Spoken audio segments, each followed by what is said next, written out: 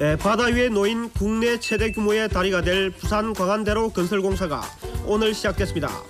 오는 98년에 이 다리가 완공되면 항구 도시 부산의 새로운 명물로 등장할 전망입니다. 그러나 시공업체 문제로 어려움도 많았습니다. 국내 최대인 900m의 현수교 공사를 맡았던 동아건설이 지난해 11월 부도나는 등 우여곡절이 많았기 때문입니다. 부산 광안대로가 8년의 공사 끝에 오늘 개통됐습니다.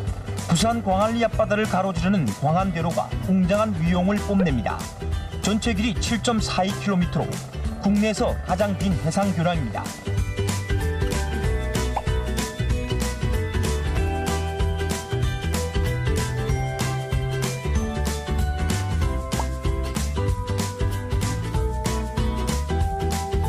다리가 유명하다 해서 예. 관광 펴왔어. 이 웅장한 이 대교가 하나 이리 뭐 이리 하나 설립돼 있으니까 촌 사람들이 한번 와보니까 상당히 감회가 깊습니다.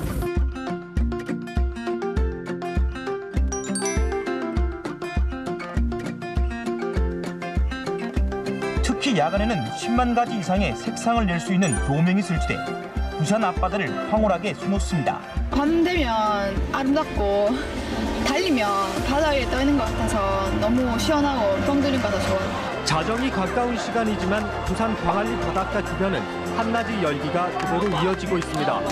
오랜만에 고향에와 친지들과 함께 맛보는 회 한 점은 여름밤의 또 다른 별미입니다. 강한대교 와 있다 이래 보이고 너 와서 해야겠다 아쉽게 뭐 해풍에 팍 받아치는 그 마체 손을 손 한잔 탁 내니까 막 얼반 막 속이 짜리짜리 다 튀깁니다 막 이게